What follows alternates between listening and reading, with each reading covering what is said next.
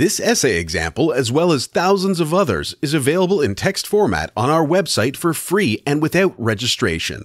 Simply Google Ivy Panda Free Essays.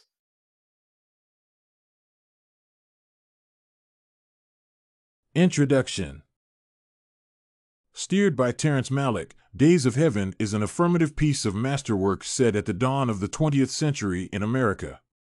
Malick qualifies in presenting America's then weird conditions that fueled economic change.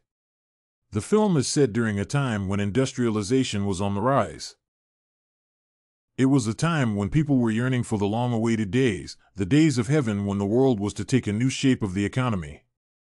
Marxism theory underscores the theme of this movie that social conflicts between the rich and the poor fueled the social change that America underwent along her path to capitalism.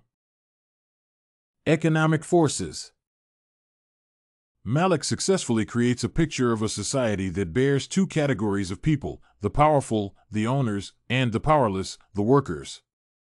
Abby and her boyfriend Bill exemplify the powerless class, while the wealthy, lonely owner of a wheat farm stands in for the powerful lot. This follows since the two poor, jobless lovers end up seeking refuge from the rich farmer.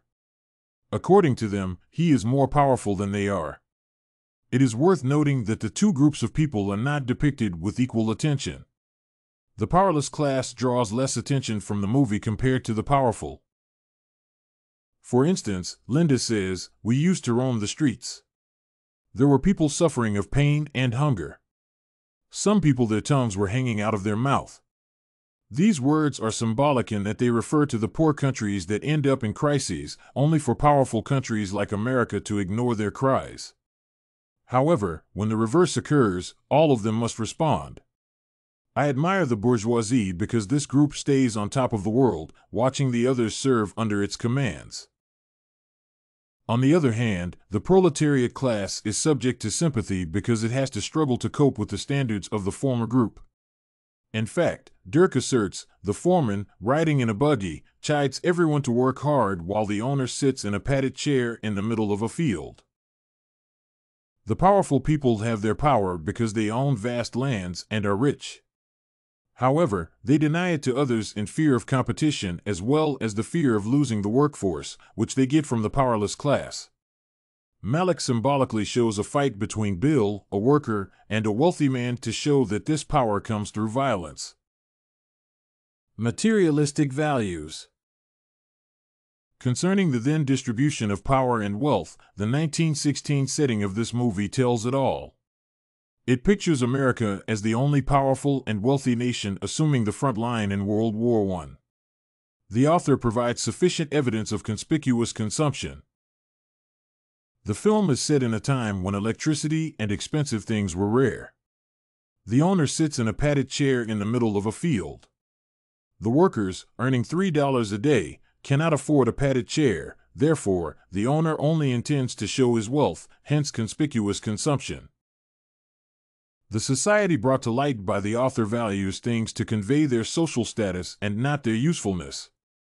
The scenario between the farmer and the workers exemplifies the social value this society places on things as opposed to their usefulness.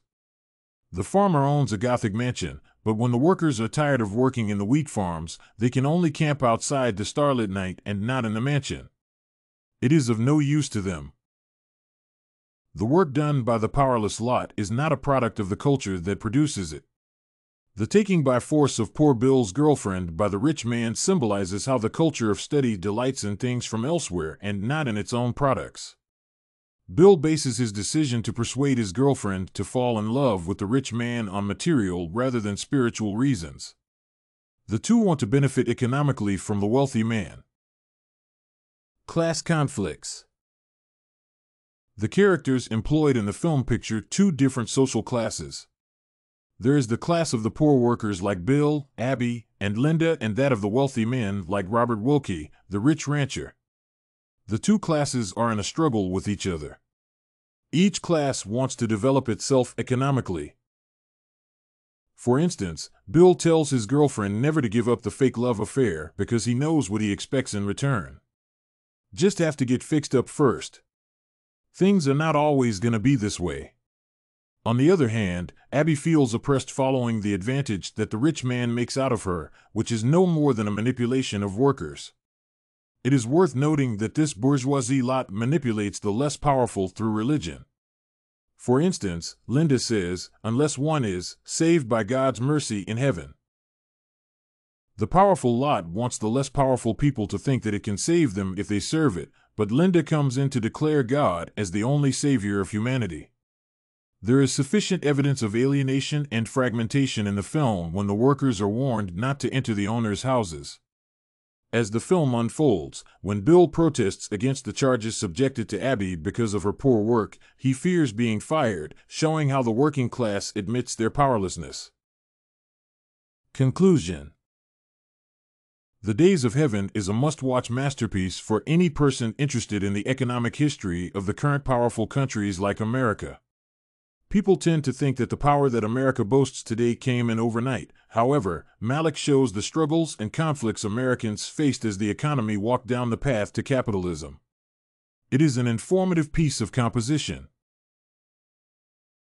If you want to find more works like this essay on Marxist criticism in the days of heaven, head over to ivypanda.com. It has a collection of free samples with thousands of submissions covering virtually all academic subjects. No registration required to access it.